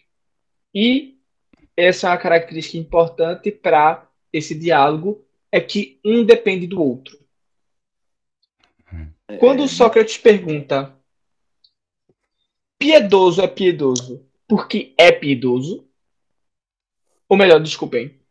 Cadê? O piedoso é piedoso por ser apreciado pelos deuses? Ou ele é apreciado pelos deuses porque é piedoso? Então Sócrates está perguntando acerca do o que explica o quê? Uhum. E aí ele faz uma analogia. Veja só, se a gente entende que piedade é ser apreciado pelos deuses, então a gente pode usar a mesma regra que a gente usa para todas as coisas, todos os verbos semelhantes a esse. Então, Uhum. o visto é visto porque alguém o vê. O que é conduzido é conduzido porque alguém conduz. Consequentemente, algo que é apreciado é apreciado porque alguém aprecia. E o Sócrates quer saber o seguinte: piedade se encaixa nesse tipo de relação ou não se encaixa? E por isso a explicação dela é de outra ordem. Esse é o problema. Conseguiram acompanhar? É, mais ou menos, mas eu já estava mastigando pela minha, pelo meu é, repertório, assim, já estava recordando uma coisa. Se, se, conseguir, se tu conseguir repetir, fica mais fácil de eu engatilhar para eu continuar entendendo. Tá ok. Então, Fred. Não, mas se for Ah. atrapalhar, deixa, toca em frente, porque isso é. Não, não. Só para uma- constar, Hum, é, acho que não precisamos ler muito além de hoje. Esse é um problema chato que os intérpretes ficam batendo a cabeça para saber o que o Sócrates quer dizer exatamente aqui. Então, já são 11h54, a gente não vai avançar muito. Vamos É, parar eu por aqui mesmo. Só- Sócrates está é, é, batendo numa tecla que os, os, é, é, os linguistas batem, os gramáticos batem, e que a física quântica veio é, colocar o problema no meio da física do século XX. Então, fica um, é, é muito difícil tomar uma decisão. Na verdade, é, é, é uma, uma via de mão dupla que você não, não dá para dizer que, que o que é causa, o que é efeito, entende? Não, não, não há uma resposta fácil para isso. É, é preciso muita física quântica para você avaliar como é que pode um- um- a observação feita pelo físico alterar o fenômeno em si. Quer dizer, a, noção de, do- da coisa em si, de Kant, cai por, cai para, como é que se diz? Desaba, né? Des- É, cai por terra. Mas Vai então, por- Fred, eu- eu acho que talvez não seja interessante a gente pensar em termos de causalidade mesmo. É mais uma questão de que coisa explica isso? Eu explico a piedade apelando ao fato dela ser algo apreciado pelos deuses? Ou porque algo é pio? é que ela que é, é por, por essa razão que ela é apreciada pelos deuses, ou a piedade se reduz à mera apreciação dos deuses? Porque se for esse segundo caso, a gente cai no problema que o Sócrates já tinha colocado no início do texto, Uhum.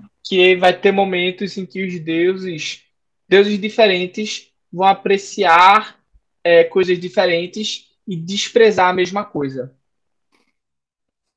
Se a piedade é algo que é, é um motivo para os deuses é, apreciarem um certo fenômeno, então ela vai ter que ser explicada não por, a, por eu estar apreciando, mas por outro tipo de explicação. Mas agora, se É, ela. Oi, Fred? É, no momento que o Deus, que o Deus é, a- atribui a uma outra força pensante, uma outra máquina pensante, a, a- a, decisão sobre um, uma análise qualquer, ele está se, digamos, se colocando abaixo de alguma coisa que está decidindo, e ele é, é apenas um observador que, que vai fazer a leitura dessa entidade superior a ele, Deus.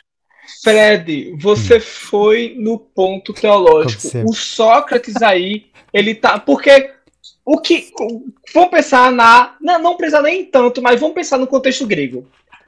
Quando Eutifron diz que o pio é aquilo que agrada aos deuses, ele está se afiliando a certa tradição de que, olha, como os homens agem bem, a gente tem que entender o que os deuses querem Uhum. e fazer o que eles querem. Ou então, tipo, ah, eu fiz uma ação má.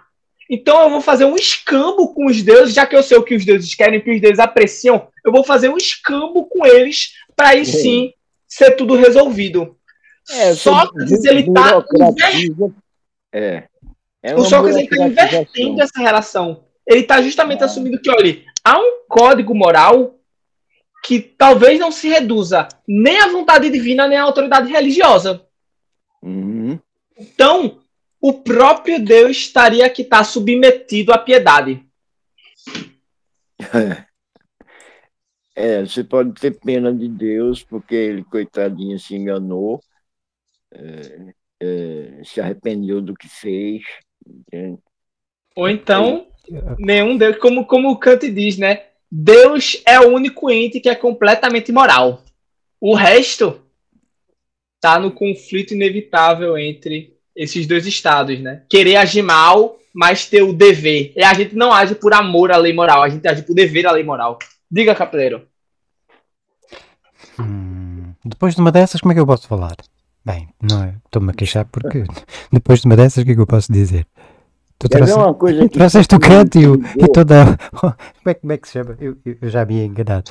Mas uh, como é que se chama essa escola? Uh, a escola.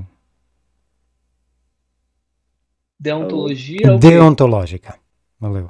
Lembraste? Eu tinha esquecido. Deontológica. Vocês estão a ver na tela essa imagem? Hum, não sei, deixa eu ver a outra. Tela. Eu estou. Tu estás a ver. Olha aí, olha aí como, como uh, alguém botou esse, o, o argumento. É uma maneira modificada de olhar. A gente pega no modelo e aplica assim, com este, agora com este conteúdo. Is something morally right because God commands it, or does God command it because it is morally right? É moral porque foi Deus que decidiu, ou Deus está sujeito à moralidade? Aham, uhum, pois é. Mate. É a grande questão. Se existe uma moral que, que, que a, a qual Deus pertence, ele é um elemento dessa moral, então o, o Deus é a moral e não Deus. É que o que eu, eu, gostava de contribuir, né? eu levantei a mão por isso, porque de novo eu o, o pensemos no, é no Timeu que o, o, o, o Demiurgo é um, um artesão, não é, Marciano? Exatamente, é um artesão que faz as coisas conforme Isso. os modelos perfeitos. Lembras-te lembras da conclusão que tivemos na, na segunda? Não lembro, pode ser? Saber, não é? Saber é saber fazer. Sim. É, quem, quem sabe, sabe fazer. Então, nós temos isso aqui também. Podíamos substituir Deus pelo cara que sabe. Tu, professor. Uhum Pode não ser em absoluto, porque tu pode, não precisas de comparar com alguém que esteja ao teu nível, mas compara com uma pessoa que não tenha experiência nenhuma. Uhum. Tu, tu, sabes, tu dizes, não, isso que você está a dizer, isso, isso é, é, sei lá, como se alguém descrevesse uma sala de aula como elas aparecem no, no, nos, nas novelas dos super-heróis. Então há homens que são aranhas e outras coisas que tais. Ah, fez sentido o que estou a dizer. É que há, há, sei, mas... há, uma, há uma fina, há uma fina, está tá a ser traçada assim uma fina uh, separação entre realidade e ficção. Uh, Fred. É, estava me lembrando da, da, da, de uma, uh, um momento que eu registrei na, na minha hum. memória, eu na biblioteca do meu pai, que eu fuçava muito lá, aí eu desenterrava os livros de, de filosofia, né? é, Legal. É, eu não identificava como filosofia, mas o, o que me prendia a atenção, o que fazia sentido para mim, eram livros de filosofia. E, e tem um que eu devo ter lido quando tinha uns nove ou dez anos, que eu não lembro ao certo se era de Ortega e Gasset, é, tinha muita coisa da, da, de Barcelona, né? que, que dizia é, é, é ao, ao, não ao não crente, ao, o, o, não crente, sei lá como é que chama, é, que, que diz que o mundo não, não precisa ter sido criado, ele, ele surgiu por acaso. Hum. Eu posso responder que acaso é, é só uma questão de nome. Você está chamando Deus isso. de acaso. Isso, isso. É? E o inverso é. sendo verdade. O inverso é exatamente verdade também. Também, né? Pois, exato. O, o, Igor botou sim, Fred. Uh, que pena não, não teres a, a, poder falar, Igor. Que pena. Hum. Mas aí, Fred, tem a concordância do Igor, a minha também. Vocês bem, eu imagino que vocês é. estão me bem também, né? Agora sim, agora não está a gaguejar. Pois é, é questão de 3G, eu tô no 3G agora. Aí melhorou. Agora tá bom. Agora tá bom. Mas só no finalzinho, que pena. Bota, queres falar? Fala agora, tens todo. Tudo, pode é. usar o tempo para ti. É, essas minhas. Não tá interessante para falar, não, para variar. Ai, não consigo... Depois de uma discussão como esta, homem. Epá, Vai. Igor, muito legal te ouvir. Muito, muito legal te ouvir. O Marciano tem a mão levantada. Marciano. Câmbio. Foi, é porque o Cabeleiro fez essa menção ao Demiurgo como. O artesão exemplar. É, artesão. Isso me lembrou um artigo que eu não li, mas é, eu queria muito ler. Se pá, a gente pode se unir no nós para lermos esse texto juntos. É difícil. É do Buffett Sellers que é aquele. O, o bicho de Pittsburgh. Vocês estão ligados quem é? Não. Fala dele. Não conheço. Eu acho ele que é. Ele foi professor. Acho que sei. Acho é que o que, Capeleiro? Eu acho que sei, mas não tenho a certeza. Fala dele. Pronto, ele foi professor do. Como é o nome daquele homem? O. Tá pensando nele agora. Robert Brandon. Que é um bicho que ele assim, ele é um analítico, mas ele leu muita filosofia continental. É, o Brandon tu conhece, né, Igor? Pronto. É, e ele. Ou melhor, não. Marco Silva, eu acho. Provavelmente, provavelmente. É, é, ele mistura analítica e continental. O Sellers que tá é, na onda disso, sabe? Hum. É Robert Brandon. Hum. Ele é Wittgensteiniano, hegeliano, enfim. E o Brandon, né? O Sellers, ele é mais de uma tradição kantiana. E o Sellers, ele é, vai para Hegel, né? Mas é, o Sellers, ele tem um... Ele estudava muito história da filosofia, tem muito texto dele sobre Platão. E um deles que eu tenho vontade de ler é The Soul as Craftsman. A alma como um artesão, ou algo do tipo. Ah, maravilha. Me desperta curiosidade esse título. The Soul é. as a Craftsman. É, eu sou fascinado com a ideia de artesanato. Que massa, tu tens o dói disso? Eu acho que dá para achar fácil na internet. Eu não tinha. Okay, o, eu, eu, acho que não tem um. Ah, não, acabei de lembrar que tem um compêndio de artigos com esse texto, eu acho. É um texto que é assim, era achável na internet, sabe? Como se fosse a, o, hum. o site do, do Sellers está lá. Deixa eu ver se eu acesso, viu? Ok, é de, de boa, que massa. Mas então, lá tem, aí tem uma frase que eu usei, inclusive, na minha defesa da minha dissertação de mestrado, que eu adoro, que ele parafraseia Kant. Ele, ele vai comentar que uma sinopse sem, sim, sem análise é cega. E uma análise. Ah, não, é o contrário. Uma análise sem sinopse é cega. E uma sinopse sem análise é vazia sinopse é aí no sentido de uma visão do todo. Uhum. Então, tá vendo aí, KP, por que, que eu dou tanto valor ao título? É uma super sinopse, né? Mandei no, no, no chat o link para esse texto dele. Uma, uma, vez eu apresentei um trabalho é, em, em cartaz na, na, na Unicamp, no SPPC, Estão me ouvindo, não? Sim. Estou, estou ouvindo. Ah. Aí eu, eu é, super apressado, de última hora, eu inventei uma maneira de comunicar para três públicos diferentes. Aqueles que só queriam saber o título e o autor, aqueles que queriam uh, um, um, subtítulo explicando um pouquinho e o extenso do, do conteúdo, sabe? Foram três níveis de, de detalhamento. Aí acho que funcionou, viu? Não sei. É, pela, pela frequência o cartaz, acho que deu uma coisa, é, digamos, alcancei um público maior, né? Porque você tem gente que passa mais apressado, gente que quer, que está trabalhando com aquilo, quer saber o detalhe. E é, é, é, é por aí, né? A ideia de título, subtítulo e o extenso do conteúdo. Olha que legal. Oh, oh, Marciano, estás a ver aí? Olha aí o, o original. Oh, esse é o texto original, né? Isso, escaneado, olha ele aí. Olha. Que legal, já viste? Eu, eu não estou a descobrir como é que se aumenta, mas a ver. Pronto, consegui. Que massa. Olha aí. Será, será que eu ainda consigo aumentar mais? Não. Ah, tem, tem, tem aqui, ó. Olha aí. My N in this. Ah, isso foi uma palestra, pelo visto, né? É que ele mudou. And this Sim. essay is the show.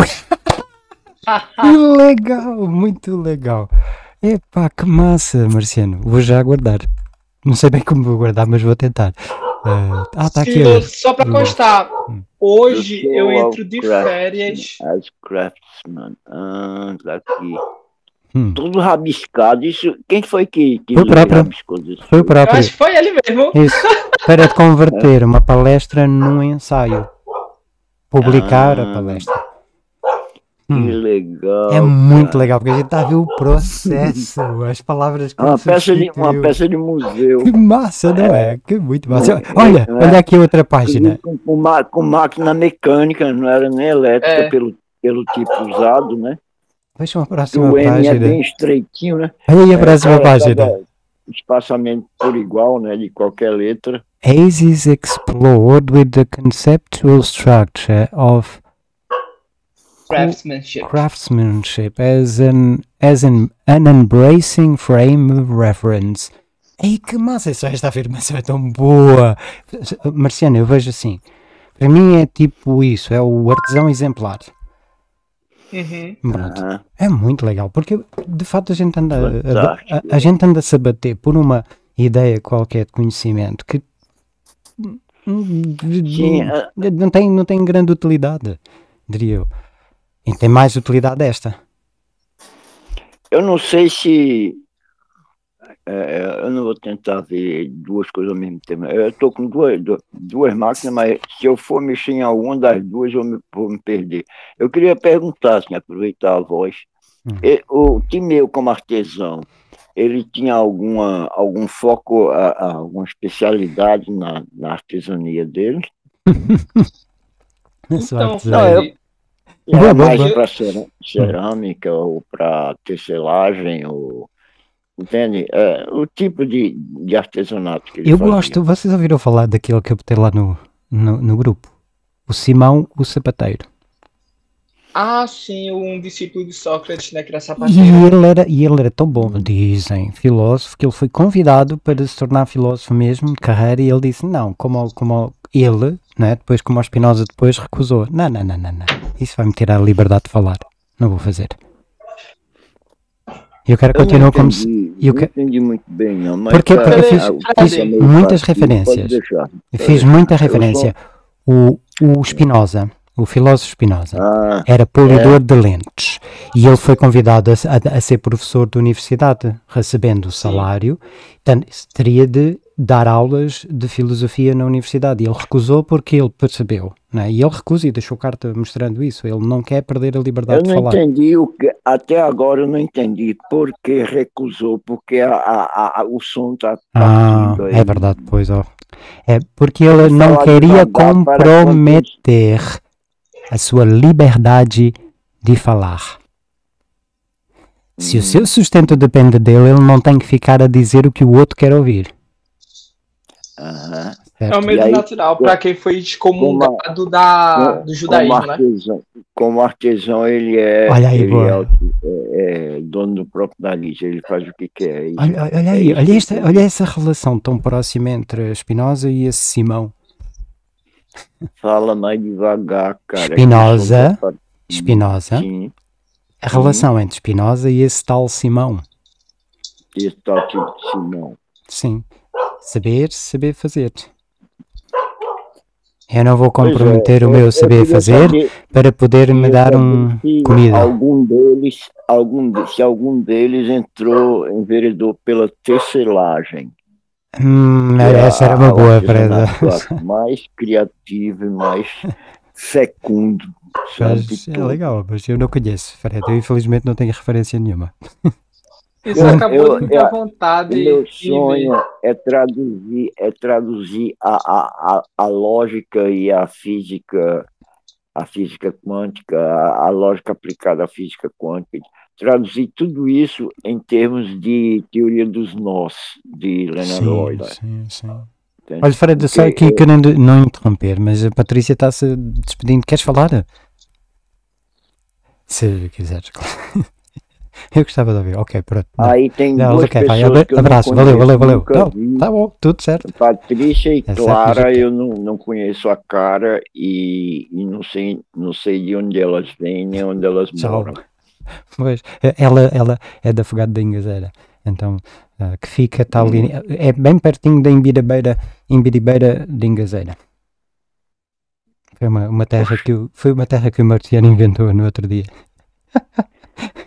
Afogado de Engazeira é perto de Triunfo. Isso, mas o Marciano quis lembrar de Afogados e fez a relação com a Imbiribeira, porque a Imbiribeira é antes de Afogados. No ônibus, não é? Ah, Quando o cara vai, pega a Imbiribeira e depois na Imbiribeira des- o cara né, desemboca lá na, na, em Afogados, não é? Ele lembrava-se que era Afogados, por aí. Ah, Afogados. e ah, o cara juntou Afogados. isso, o bairro Afogados. sim. Então ele juntou na cabeça dele, ah, sim, Imbiribeira da Engazeira. Ah, sei. Eu é. até brinquei com eles a dizer, se calhar Deve ter sido as inundações do tempo da de- do tempo de, de- que surgiu a, a- o bairro e, e lá na, lá na, na, na- na- no Planalto, sei lá, naquela área de Afogados em Gazeira, também deve ter havido alguma inundação, né? Que houve al- alguns que morreram, então Hum. quando eles morreram, chamou-se Afogados também. Eu, Fred, É. Fred, É, eu eu, quero não dizer conheço assim, a história. Especulando a etimologia do nome dos bairros e cidades. Oh, oh, oh, Fred, eu, eu, eu vou pedir-lhe, só estamos os dois, posso parar a gravação? É, pode se Pronto, quiser. valeu. É, É, para mim essa ajuda muito Valeu. Personalista, né? Muito, valeu, valeu. Muito massa.